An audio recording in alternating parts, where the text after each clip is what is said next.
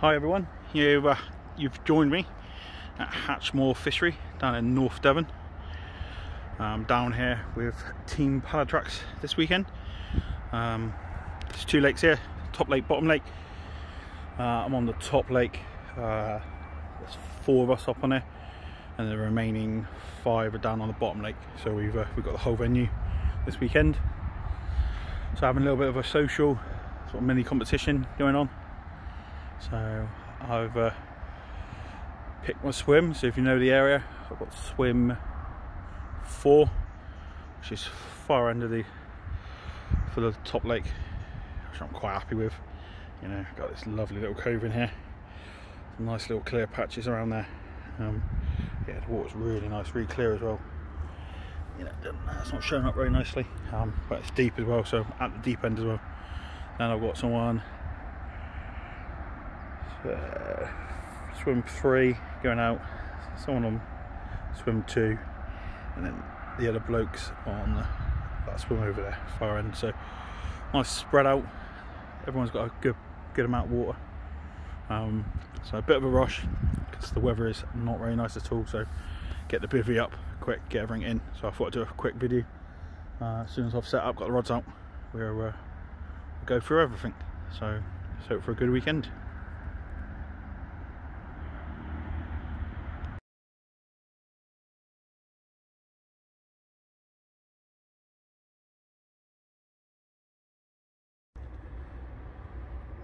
Right, so everything's uh, set up now.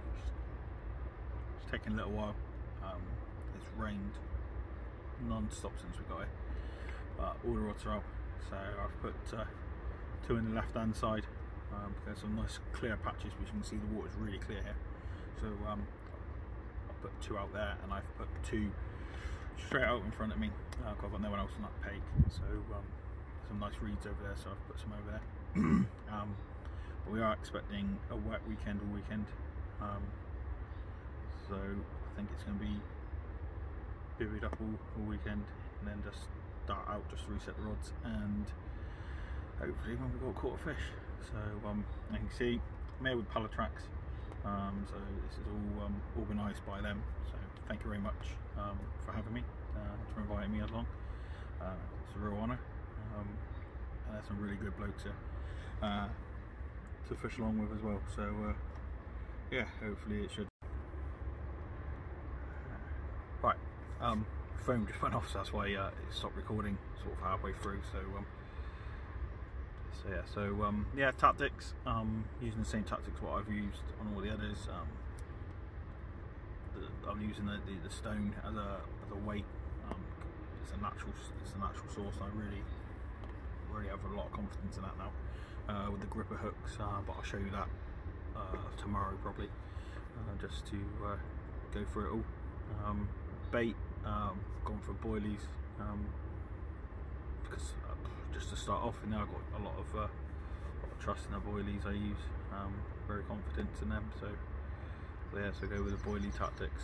Um, see what happens overnight. Um, but if nothing happens, then we'll, we'll change things up a bit and see what we can catch. So um, yeah, like I said, don't know a lot about this lake, um, but the information I have gathered since being here and talking to the others, some people who've been here, uh, speaking to the owner, um, they're very they, spook very easily. So um, the rods are right back as well. Uh, no rods hanging over the water at all. They're right back. Um, lines, you know, try and keep as much line out of the water as possible. Um, um, the water, like I said, the water's very clear, so um, that might have something to do with it. Um, but yeah, they are very spooky, but apparently there are some gorgeous fish in here. About 60 fish in here, um, but stunning fish. The pictures I have seen and, and, and everything like that, they are absolutely gorgeous. So I'm hoping to catch one of them too this week. Uh, I'll be really pleased. So um, so yeah, so bivvies, bivvies as far back as it can be. And then um, yeah hopefully stay quiet stay in the bivvy um, and yeah hopefully um, it does the trick and I uh, land myself a fish. So um, it's time for a coffee now. It's time to warm up. I'm kind of absolutely drenched.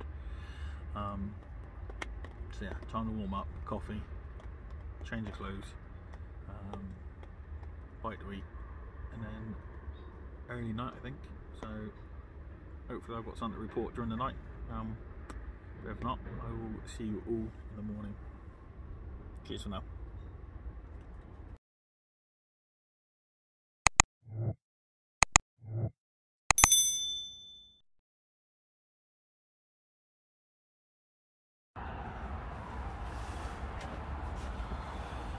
Morning. Um, so no fish. The weather got quite rough last night. Uh, I don't think anyone's caught any fish um, at all, not on both lakes. Um, and the wind has picked up these gale force winds, which they said they was coming in, come in. The rain's come down. it's so even the buoy's getting wet um, inside. Um, didn't close the door properly, so it's my own fault. Um, but yeah, it's uh, there's, there's, no sign of movement at all.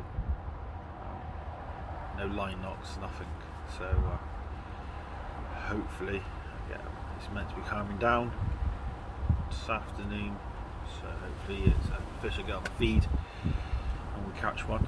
So uh, I thought I'd take this opportunity to show you what I mean when I say I use a stone instead of a lead weight. Um, a few people have asked what do you mean a Stonian. Um, so basically, this it is a stone, um, built in swivel uh, already. Um, get them in all different sizes. As, as you imagine, you, you, can't get an exact weight of three ounce, four ounce. Um, if you buy a bundle, but uh, I bought a pack, of what three and a half, I got three ounce, two and three quarter ounce. Um, to me, it doesn't make much of a difference in, in the sizes and all that. I think they're slightly better. Um, you can soak them as well, so a lot of people, um, I've not tried it myself, but I'm going to try it, um, soak it in the um, liquid you're using and all that, because uh, stones are absorbs, they, they, they, take on liquid. Um, uh, so I can see how it works. Um, it releases that liquid when it goes in the water. Oh see what I mean by the wind. Yes, so so yeah, so it gives you a beneficial of, of that. You know, you can soak it in the liquid you're going to use and all that to uh, to fish with. So um, we're going to try that, and then uh, I'm going to run through that with you. We're going to try it together, see where we go with it. Um, probably do that in the next session I do to go fishing on. Uh, a bit late on this one, um, but yes, um, might go for a walk around the lake later on uh, if it does excuse me, uh, die down, um, do a bit of recording around the around the venue because it is a gorgeous venue, really nice. I will be back in. Um, maybe wait until after the winter, um, just to you know, get, get summer fishing down here. Uh, they are building a third lake as well, so they've got the two lakes as it is. Top lakes, uh, 60 fish, a little bit harder, um, but the quality of fish and the weight is, is, you know you'll be really happy with. Uh, bottom lake, more fish, little fish. Um, third lake, I'm not quite sure what they're doing, um, but it's only going to have about three or four pegs on, three anglers sort of thing at a time. Um, so yeah, so these lakes, you know, there's only four of us on this top lake, but there's only five can fish it. Yes, yeah, five can only fish it at once um, on a normal session. So um, it's it's really nice here. Um, and there's an ideal burger bar um, across the road at Mo Valleys because uh, with this COVID at the moment, you're not allowed to turn up early. You know, if you, you've booked in for one, you have to get here for one. So if you're like me, like to be in places reasonably early, you know, don't like being late. I got down here, popped into Mo Valleys, met up with the with the rest of the team Pallatrax, um, bite to eat, had a chinwag, and then made our way five to one and got here dead on time. So um, highly recommend that. Um, so yeah, it is clearing up as we speak. So uh, spin around. So that weather is definitely getting better, much better. So hopefully it produces. So like I said, from here. Uh, got a bait there, and then the rest of them in the uh, in the far corner. Um, but yes, hopefully we can get some footage of some fish, even if it's not my fish. Just you know, if someone pulls out a fish, I'll be it'll be an achievement this weekend. So um, yeah, so hopefully I'll be back with some more footage. Um, hopefully with a fish, but if not, um, definitely a walk around the lake. So uh, catch up. We'll catch up with you soon, guys.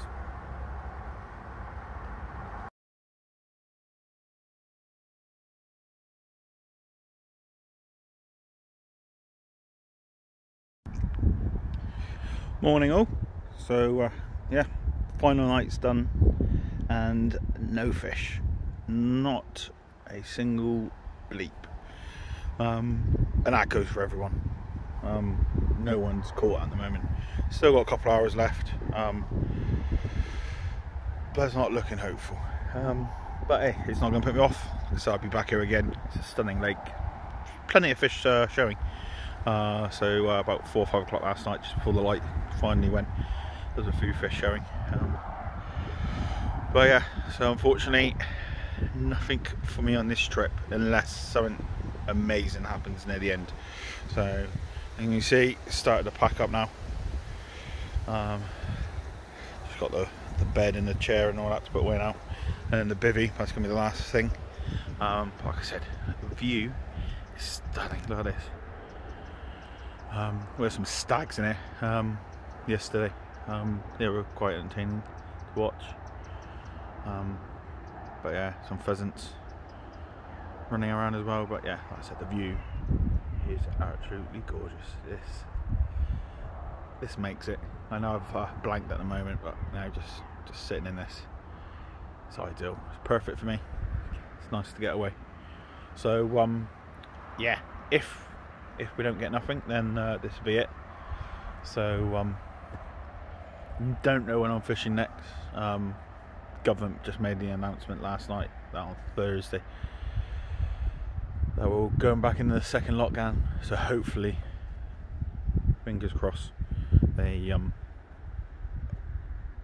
they keep fishing going. Um, but if not, then I think this will be my last trip for 2020. Um, fishing wise, 2020 has been pretty good for me uh, and Noel. You know, both got PBs. Um, both caught a good lot of fish. Even in the pandemic, we could have would have even caught more if the pandemic wasn't here. But even though we, we I'm, I'm good. I'm happy with 2020 as fishing goes, as the uh, as everything else goes. And it's time for, time for it to disappear and um, leave us alone, so we get back to normal. Right, that's enough for me waffling. Hopefully, there'll be another one before Christmas. Um, but if not, I will see you soon. Bye for now.